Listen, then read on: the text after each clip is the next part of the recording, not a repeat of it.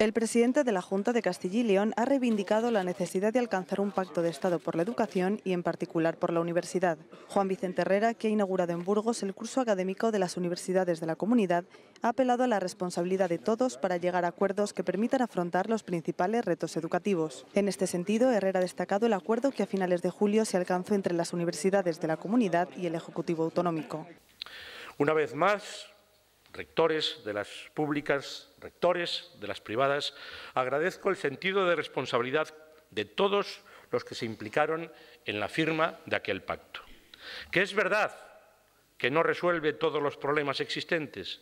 pero que sí supone un paso adelante importantísima, siendo, como ha recordado el eh, rector de Burgos, el primer pacto expreso a nivel nacional sobre oferta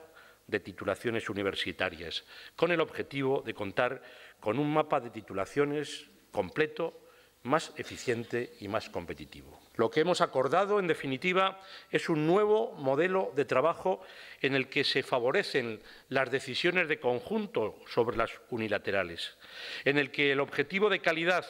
en todos los estudios y campus se completa con la aspiración de que algunos de ellos por lo menos sean de referencia nacional e internacional